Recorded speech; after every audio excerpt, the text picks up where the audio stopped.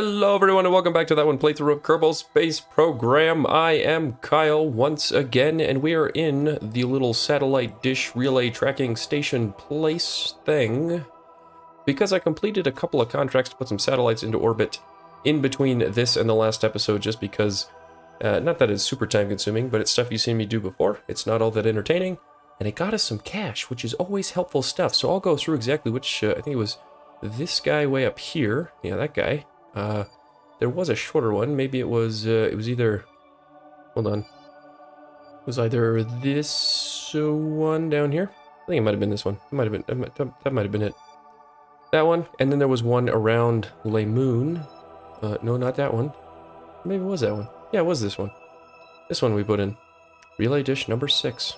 So, for quick reference, we completed satellite, satellite, satellite, and then I also did a quick little flight that all I had to do was recover material study and mystery goo from low flight over Kerbin. So all I did was pull out the Bumblebee one more time, do a little lap again, gather some science this time around, and uh, that's why we're at 26.4, a whopping number, which leads to the next segment of what we need to do. Two big things to help us gather science, because we still need to hit the 45 marker so we can get that bigger fairing that we talked about last time. Number one, if we upgrade the astronaut complex, only 150k, easy to do, not quick decision. This will allow us to get Kerbals to disembark. Oh, no, wait. Uh, uh, it'll allow us to EVAs. That's what I meant. EVAs. So now astronaut complex is in here, going to take a little over three days to complete. No worries though.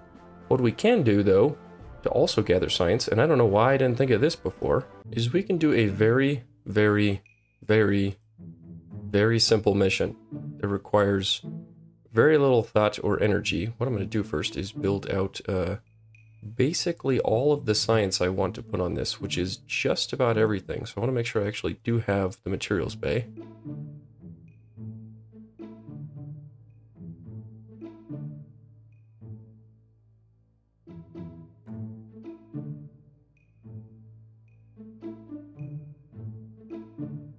Okay, just a very simple probe that has to be able to go out a long distance, one of each thing, so that we can uh, send and transmit uh, thermometer and barometer data. We're going to try and return the mystery goo and the scientific uh, materials study bay.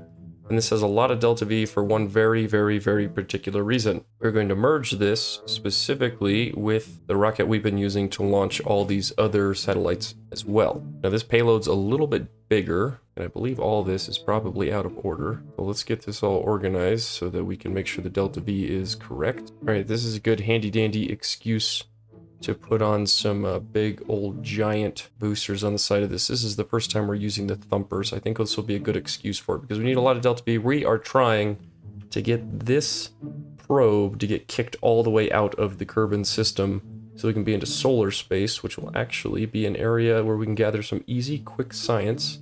And there's a little trick we can use to just turn around, return to Kerbin, and actually gather the science directly with the recovery. All right, we lead off today with the boomerang. Now the boomerang is going to be using two boosters uh, on the side here, the thumpers that we have never used before. So these are untested generation one parts.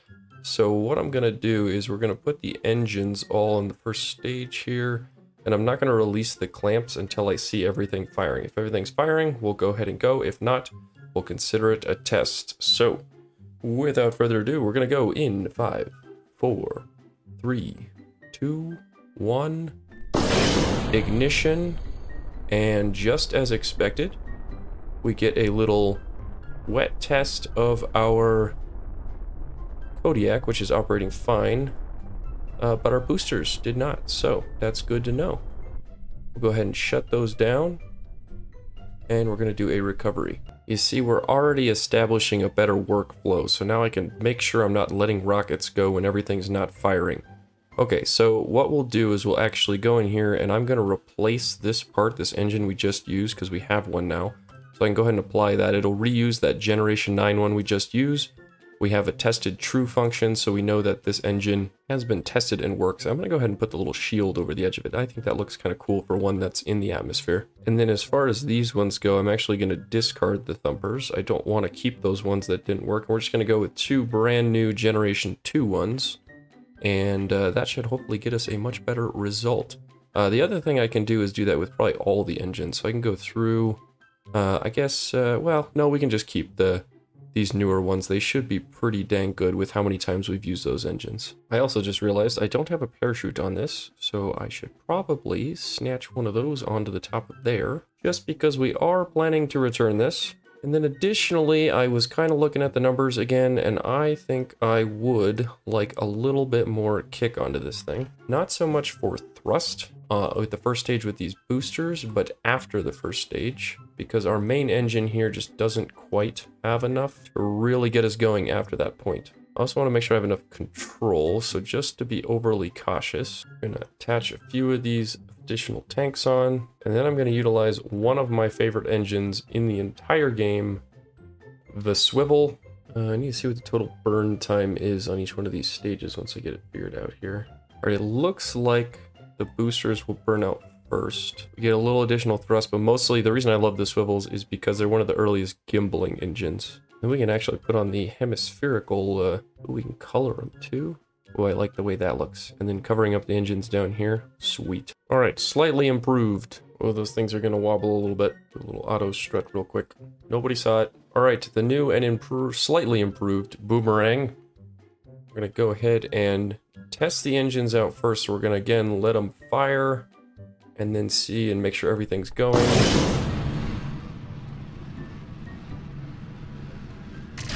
Looks like we're good to go. This thing's going to accelerate pretty quickly. I'm going to drop thrust down just a smidge. Not too much, though.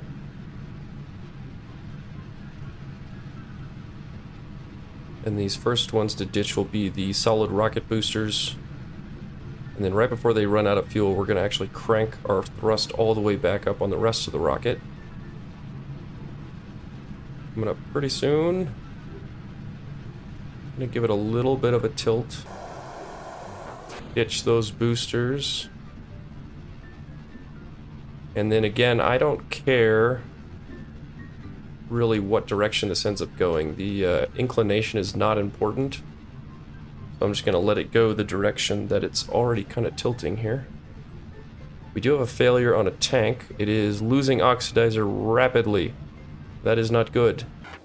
Ditch those. Very, very minimal control here. But we're gonna we're gonna really start tilting if we can. Come on, come on. Oh yeah, there's not a lot of control on this thing. We lose those gimbals, we kind of lose everything.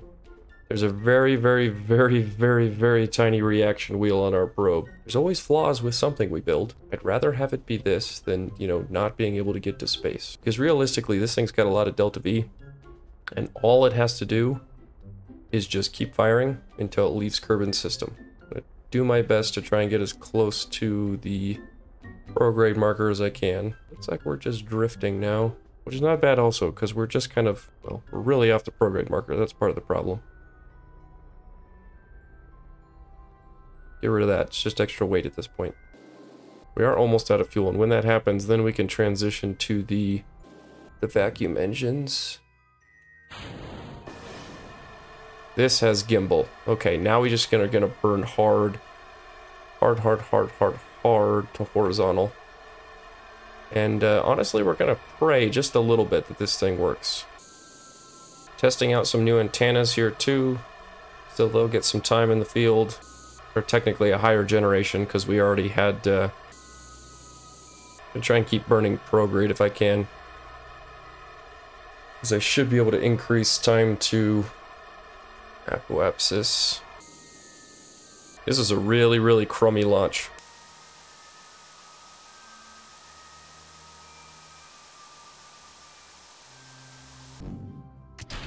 Alright, we're gonna stage, and then we're gonna figure out exactly where we're at here. See if we can get this to orbit. Well, it'll get to orbit. Question is, where does it go after that? Because what I'm gonna do is just uh, literally burn this thing completely out of Kerbin system is the goal. That says 1742, and we have 1737 allegedly in the tank. So using just these tiny, tiny ants. Gonna try and orient ourselves as close to there as possible. And crank up the main engine. And then we're just gonna burn. Burn, burn, baby, burn. Cross our fingers a little bit. Let me check the ISP 330, and these are Okay, I want to shut down two of these. So that way we take advantage of just the better ISP on the main engine. See if that stretches us a little further. We're just going to keep burning prograde, not even worry about a maneuver node. And if this thing can't make it back to Kerbin, that's a sacrifice I can make. As long as it gets out far enough to where we can get external science. As we get closer to where the moon is though, we might we might be able to take advantage and see if we get an encounter here actually. Actually, we're on way too high an inclination. What am I saying? That would never happen. Oh, it's gonna be close. Oh, and we got it. I shut it off. I have one meter per second left, but that's that's okay. We'll just say this was the closest success we've ever had in the history of our space program. Well, great. That's going to happen in 8 days and 10 hours. We'll just go ahead and create a little alarm here. Put that alarm. Did that set it automatically? It did. Events for 8 days, 10 hours. Sweet. So we did have an oxidizer leak on our main engine, uh, which was probably part of the reason this was actually really close. And that was the initial ignition failure before. So that's pretty cool. We'll be able to get some good science. Right, and another quick way we can make some cash and some science is going to be to do some of these ScanSat satellites. So we've got one here to do an orbital spectrometer scan, and this is going to give us biome information of Kerbin specifically. We've also got one that we can do at the moon, so we'll pretty much just reuse the same satellite for each, just with probably a different launch vehicle. Make sure we got enough Delta V on the moon version. So, I present to you the Brightwood 1. This has a couple of uh, added new benefits. One, we're putting a little bit of a Shatterstone theme to it. Two, we've uh, I've added more of the, uh, where are they at? Whoa, that's an engine in the face. I've added more twitches at the bottom, so hopefully we have some better gimbal control, as well as the additional fins, so that way we uh, don't do the floppy floppy fall over that uh, some previous rockets may have done. Additionally, I also figured out how to add my own flags into the game, so look at that, we're officially channel themed. I've done zero tests on this, so hopefully uh, works out pretty well. Yeah, there we go. Probably bring the thrust down a little bit. And this actually has to go uh, north, so let's make sure we set that tone fairly early. Because again, because this is a scanning satellite, we're going to make sure that this goes into a polar orbit. Uh, could, whoa, no, no, no, didn't mean to do that. Meant to take the thrust up. Thank you. There we go.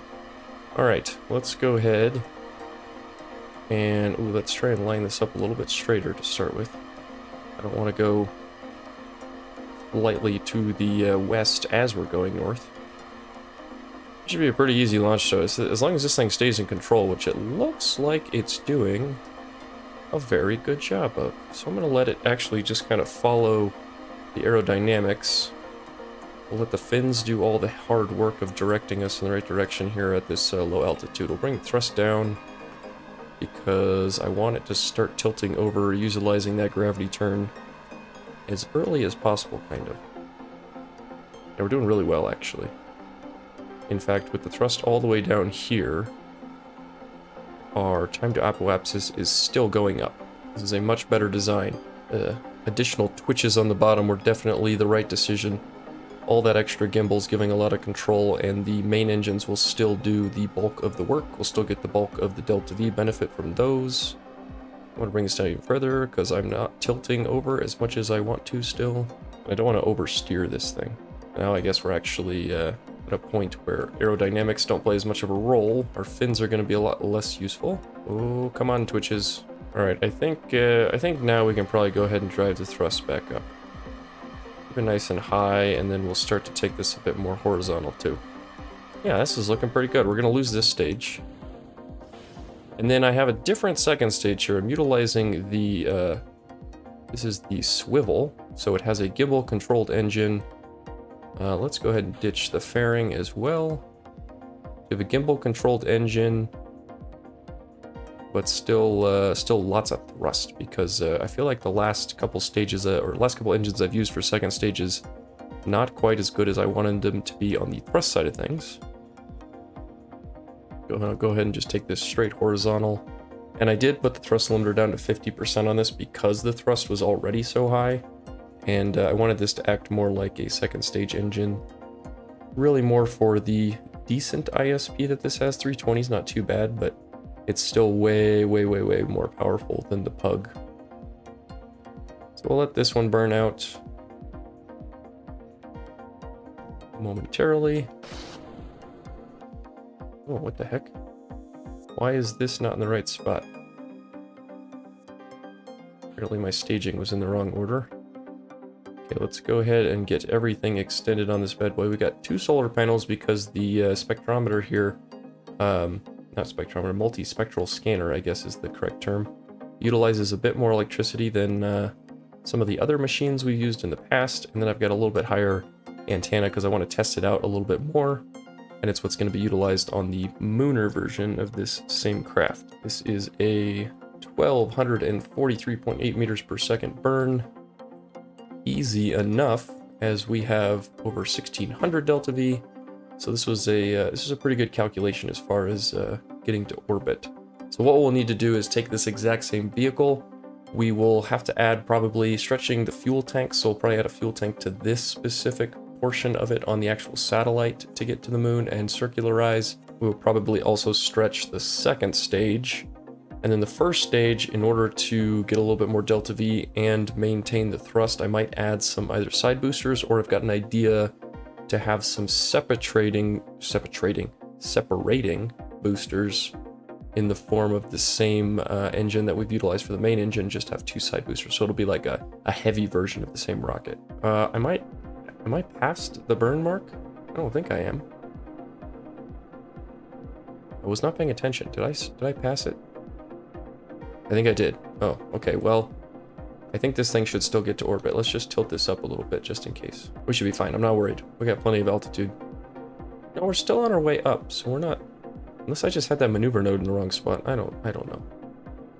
I have no idea. Pretty similar structure, actually almost identical structure the last couple uh, vehicles we've done. I've utilized the bigger battery on this one, again, because I think this uh, experiment is going to require a little bit more electricity, both to transfer the data and just to run the system, so more solar panels in that sense too. Same four, uh, four engine structure on the back of the Ants, so we have uh, still pretty decent thrust for a small little satellite like this.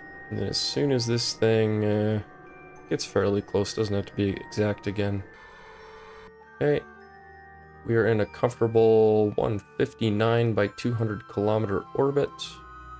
Uh, what I'm going to do is orient the satellite right about there, and then we'll rotate. So that way our solar panels are in a vertical orientation, so that way they can always rotate and see the sun. And then, last but certainly not least, we're going to grab our spectrometer and start to scan in. So now we'll start to get some biome data, I think. Let's make sure that this is, uh, yeah, it's actively got a scan going, so that's good. I'll just keep it at that orbit. I'm happy. It'll take some time, uh, but uh, that's okay. It always does take time to do this sort of thing, but we'll start to get some actual biome data, which will be cool.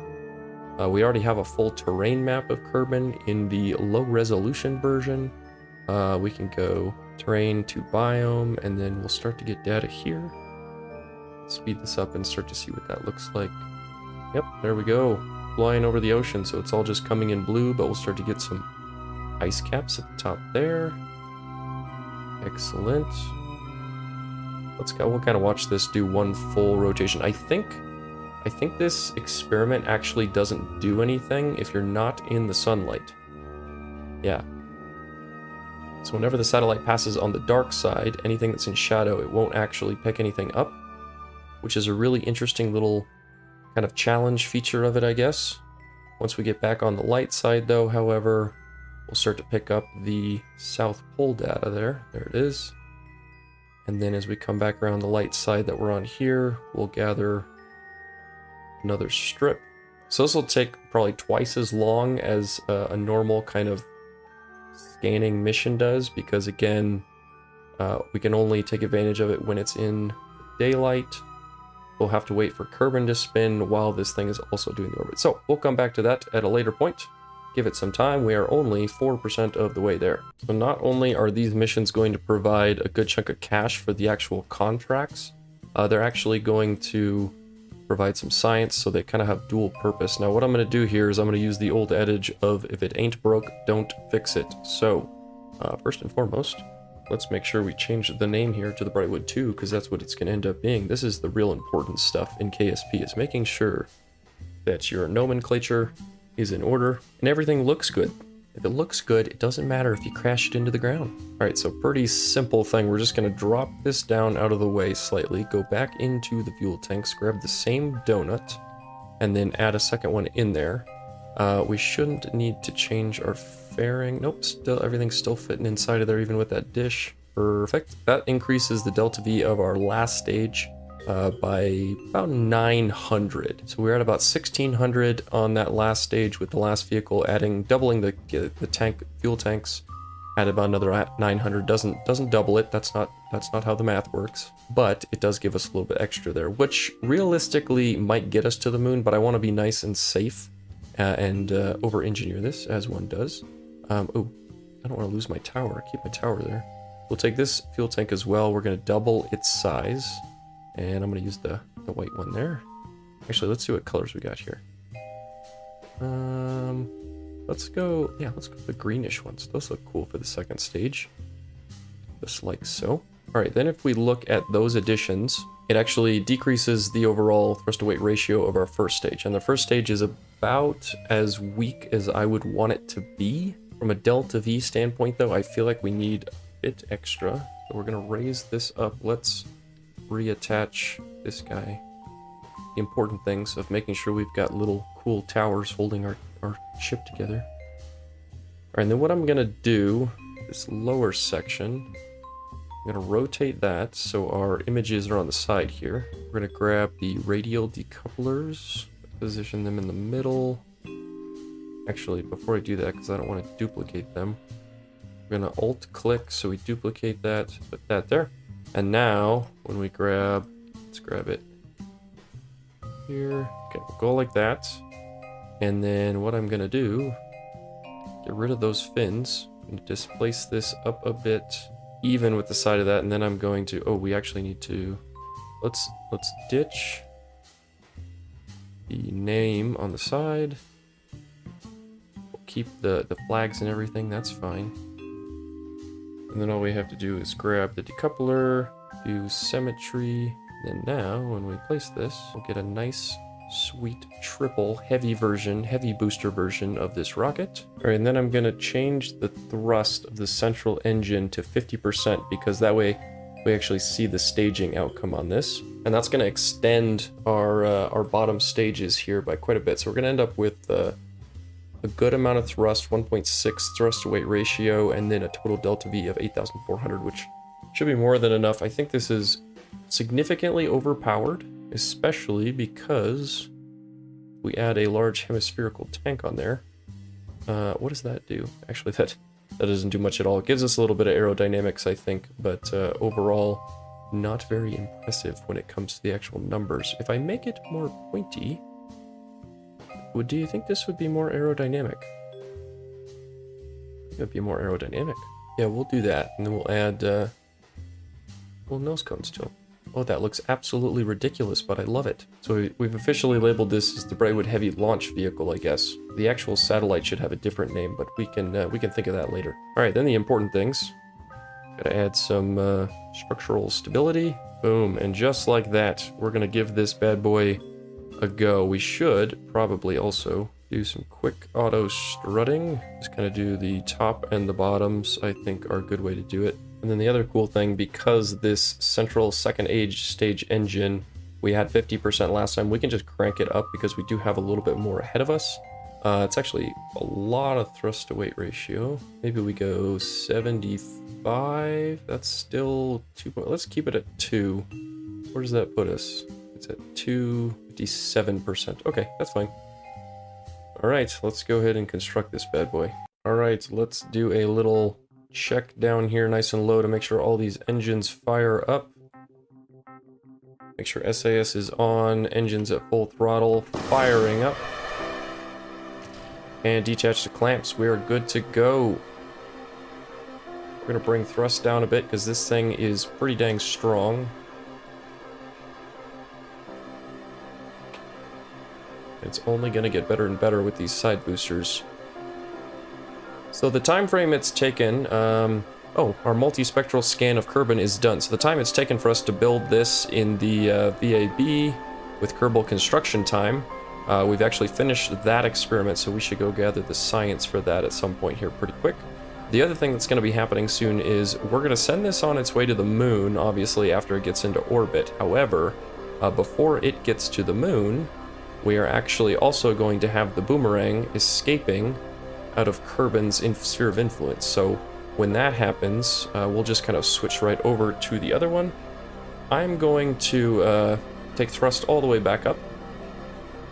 And we're just going to follow the nice easy trajectory here provided by the prograde marker going through the atmosphere. Oh, we're getting a little crazy actually. Maybe I throw SAS back on. There we go. Ooh, this thing is a little hard to control actually. Those twitches might be providing a little too much extra control. Uh, but we are going to lose our boosters here pretty soon. And I'm going to bring up this main engine, and as soon as we stage the side boosters, we're going to crank the thrust all the way back to up to 100% on the center stage.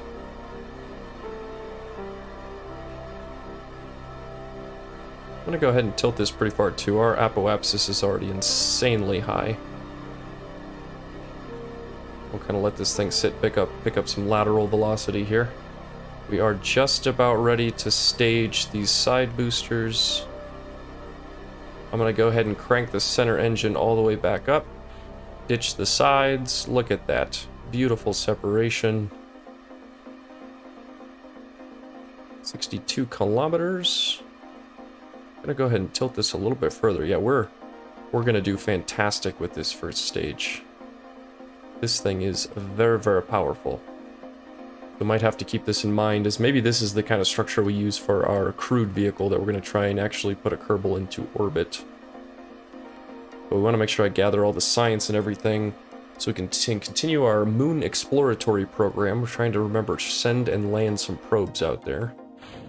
Okay, second stage, or I should say this is kind of the third stage. This, uh, this might actually be what takes us to orbit, which means it'll also act partially as a kick stage to the moon, which is good.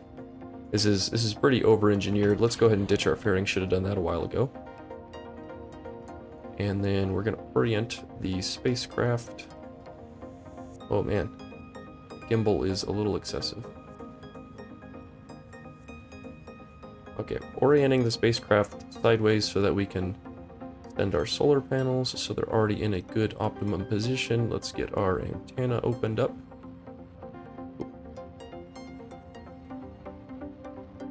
Just like a so. Oh, no, why didn't you stay out? Stand antenna, please. Thank you. Stay out there. Good boy. Okay. Uh, I was not paying attention, and we have a 511 kilometer apoapsis, so it's, uh, it's a little further than I wanted it to go. Gonna be in quite a big uh, parking orbit here. So let's go ahead and just set up that maneuver node. And I don't need to circularize this, that's fine actually. 210 kilometers on the periapsis is fine. Three hundred ninety-six on the burn. 814 left in the tank yeah, that should give us a pretty good idea that this uh, this rocket should should be something we could utilize pretty consistently. I don't I don't know what the cost was. I didn't actually look at the price when before I built it. Really pay attention to that. All right, then we'll just go ahead and speed up until we get to our node. 12.2 second burn. A couple minutes away. Get there nice and quick. Zippity doo. Crap, I went past it again. Seems to be a uh, consistent problem I have. But nice, easy, quick burn. Much, much more fluid than the silly pug. I'm, I'm glad I've gotten rid of that philosophy. Probably won't use the pug unless we put it on some smaller probes ever again. And then very simply, as we have done in the past, we got to target the moon. Set as target. This is all becoming very, very consistently easy things to do. I'm going to set up the burn probably right about there. Should be a good spot. Flyby of the moon. And yeah, we can go ahead and adjust this quite a bit.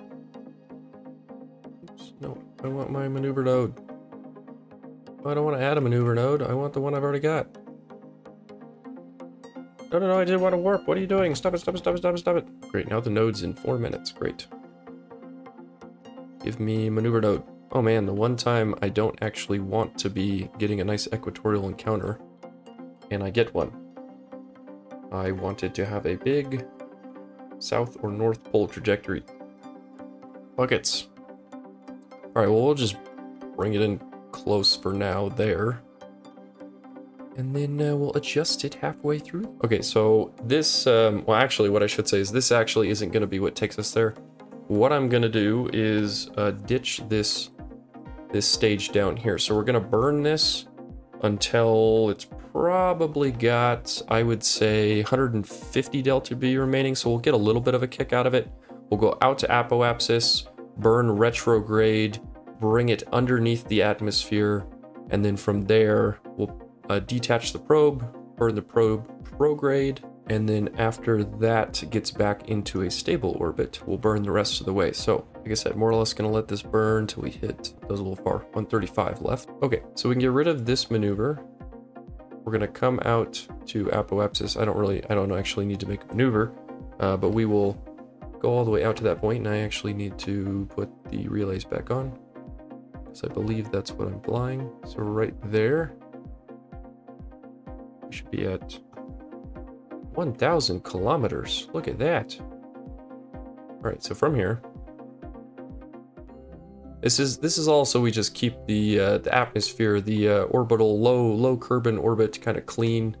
I don't want to have all these extra pieces floating around. They just kind of clutter up everything. So we're gonna burn this. Uh, should have enough delta V to get this under the atmosphere.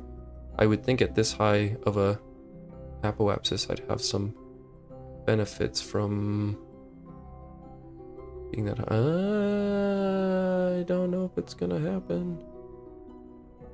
10. No, 104 kilometers. Well, that's not good. That means uh, this thing is not going to come crashing down back into the atmosphere. There's no orbital decay in Kerbal, Space Program. Um, yeah, so this actually, I think, makes the fourth bit of debris I've left in, in orbit. I started counting them. And I'm a little disappointed in myself for not uh, planning a little bit better here. We'll detach this, and then we're going to have to start planning missions in the future to kind of utilize other satellites and go and rendezvous with these things, and then uh, drag them back into the atmosphere. I know you can go to the tracking station, and you can just literally delete them, but I've always felt like that's... Uh, until you at least show like that you know how to clean up the atmosphere, it feels like cheating to me. If you have to do it though, it's not cheating. You can do it. I, I, I'm okay with you doing it. But I at least want to show that I can clean up one of those pieces. And then once I clean up one of them, then, uh, then maybe I'll just start deleting them from that point. All right, let's go ahead and focus back on the moon now that we've got a another encounter. And this one might actually be more in my favor because... Ah, dang it, I missed the, uh, the maneuver again. All right, I got it. Okay, we're gonna go... Oh, buckets. I don't want to go through the planet. That's, uh, or not planet. The moon is not a planet. The moon is a moon. Doing moon things. Alright, yeah, we're gonna have to wait until I think we get to a spot halfway through our uh, transfer to make the adjustment. But I want this to be either north or south so we can put it in a nice, clean, comfortable polar orbit. So we'll whip this guy around. Not going past our maneuver node. That would be bad. Wouldn't be the first time. Up, oh, almost went. Oh, yeah, we're, we're kind of too far because I'm missing my optimal burn. Oh well. We're just gonna do what we can. All right, this thing is gonna have to go for how long is it burn? Oh, was like a two minute burn. Holy buckets. Okay, well, um, I'm not gonna talk for two minutes, so I'm just gonna speed up the footage and you can watch this beautiful thing ride off into the sunset for a brief amount of time.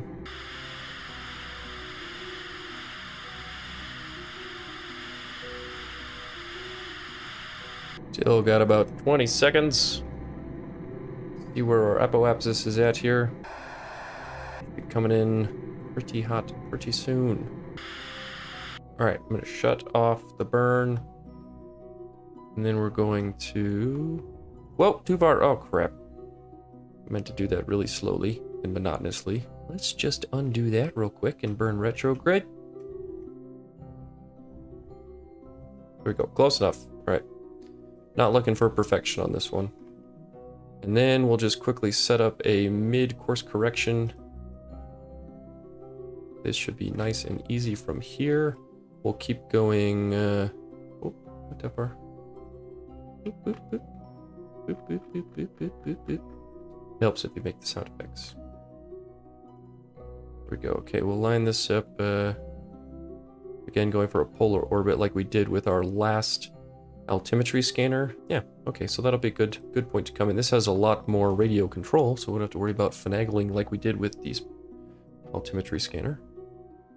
And then all I'm going to do, quickly check, this burn is in one day and three hours.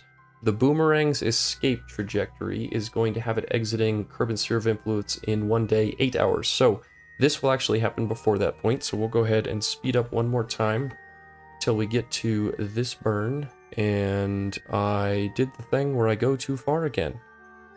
It's a good thing these aren't like super, super, like, mega accurately necessary burns or anything. Perfect. Golden. Alright, then we can go ahead and set one more alarm for a Sphere of Influence change for this vehicle, which is in four days, eight hours. We'll go ahead and add that, and I'm going to actually edit this and change the name and I'm going to say Brightwood 2 MOI, which stands for Moon Orbital Insertion Maneuver. That's uh, that's what we're going to do at that time frame. Go ahead and save that. And then, uh, because we only got three hours until the boomerang makes its triumphant escape out of the Kerbin system, we need to figure out where where that thing is. Actually, if we if we let this satellite right now uh, continue on its way, it would actually go flying out of the uh, Kerbin system as well. What do you know? Alright, but the boomerang is way over here, so we're just going to go ahead and switch to that really quickly. And here it is. Let's see, where is... Where's Kerbin? That's Eve. I don't want Eve. Did I... Well, I was kind of on a weird inclination with this. So where... Oh, there we are. Way up there. There's... There is Kerbin. Yeah, that's Kerbin right there, but I don't know. I thought I'd be able to maybe see the moon or something, but... Doesn't look like there's other bodies around here, maybe. What's this? Oh, there's Jool, actually. Little green... Little green gem. Um, actually, this thing's in a really bad position now that I see it, because the solar panel is not exactly exactly in a great position now that I see it. I'm not too fond of that. I don't think I put backup solar panels on it. Can I rotate this? I don't think this thing has any control. I didn't I didn't put any kind of wheel authority on this at all. Well, that's not good. Anyways, um, we'll go ahead and wait until uh, the three hours passes. So we're going to speed this up. We'll keep an eye on our Kerbal alarm clock. Should get there in a jiff and it'll slow us down automatically. And we should get an accomplishment out of this by escaping Kerbin's gravitational influence. Let's see what happens. Alarm date, yes. Have we escaped? Did, did, did we do the escaping? No, apparently we still have 40 seconds until we're actually doing the escaping. Okay, let's speed it up. Come on, I haven't I haven't got all day. Do the escapes. Please do the escapes. Boom. We have escaped. We have officially left Kerbin's sphere of influence. World's first milestones. Of course, I'm not going to get as much cash for them because they're a first milestone that doesn't involve the moon. So unfortunately, our strategy gives us uh, not as much money as we would have hoped for. But for science is pretty good. I'm okay with that. 14,000 on the uh, chunk of change. And now we can start doing science outside of Kerbin's Sphere of Influence. Conduct Materials Study Bay. Those words came out in the wrong order. Materials Study while in space high over Sun. The high radiation environment caused a few of the samples to glow. It looks like it would be fun to paint the rocket with this. That would be pretty cool. Well, for now, let's go ahead and keep it. We're going to get 19.4 science because we are sending it back via transmission. I was hoping to recover these. Uh, unfortunately, we did not have nearly enough fuel because of the poor launch trajectory that this thing took. We'll go ahead and do a temperature scan. Measuring the temperature of space appears to be quite impossible as there is no matter around either hot or cold except the spacecraft and the thermometer itself. This is probably going to give the R&D guys something to really think about for a while. Uh, 12.8, pretty good to be able to transmit. Uh, atmospheric data, the instrument reads zero, of course, because we're still in a vacuum. And then mystery goo, are we going to get some jiggle? No, the ghoul feels right at home. That's good too, I suppose. Alright, well, we're going to try and transmit the data. I don't know how my batteries are going to do during this. And the answer is we had plenty for the mystery goo, and we're, we're we are charging, but very slowly because of this just horrible, horrible angle I'm at right now. We're gonna speed this up so we get our battery charging. I don't really care about how long this takes. Don't have much going on except for, you know, the Brightwood uh, moon orbital insertion in four days. All right, let's do the material study because this one's going to be worth the most amount of science, I believe. 19.4. Yeah, let's go ahead and do that real quick. Hopefully we have enough battery to pull that off. And a boarding transmission because it takes more than that full battery. I was hoping this would be enough battery to do it. So what we're actually going to do is we're going to allow partials and then we got to let this recharge one more time. Battery recharged, review the data, transmit it now. So this might disrupt exactly whether or not we get full 19.7 out of it, but uh, we need to get something back from this. So speed up time so we get the charging done. That's uploaded, perfect. And then uh, let's go ahead and keep time warp going so we're refilling. Where did my other, there we go. Thermometer, view, transmit, barometer, 19.2, ooh, this might uh, use up all of our battery too. Transmit, and this is exactly the chunk of change in science I wanted. 87.1, we'll be able to get that node we've been having our eyes on. And we've also gathered the first scientific data from the sun itself. All right, well, this little thing did its job spectacularly, and I'm going to go ahead and say that this was a raging success. We've got a couple of missions in progress. We do have to, in the next episode, check to see how our Spectral scan of the biomes of Kerbin is completed, so we can transmit that data, and then we will set up the insertion burn for the Mooner version of that same mission, and check out some science nodes that we can now research as well. But until then, I am Kyle, and this has been that one playthrough of Kerbal Space Program Forging Frontiers, the JNSQ playthrough. I hope to see you in the next episode. Have a wonderful day.